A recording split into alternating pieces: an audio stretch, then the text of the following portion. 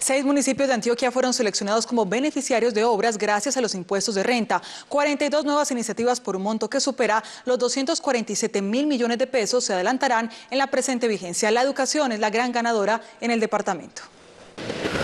Para Antioquia se aprobó la construcción del acueducto de la vereda Caracolí en Amalfi, pero la gran beneficiada es la educación, con proyectos en seis localidades con dotación inmobiliaria. Aquí son cosas específicas, en Yondó, Chigorodó, Necoclí, Vigía del Fuerte, es dotación inmobiliario escolar, solamente. Pero para nosotros es una bendición. En Sonsón no solo es dotación inmobiliaria. Hay un plus particular y es que es dotación inmobiliario escolar, pero también dispositivos móviles, entiéndase computadores o tabletas.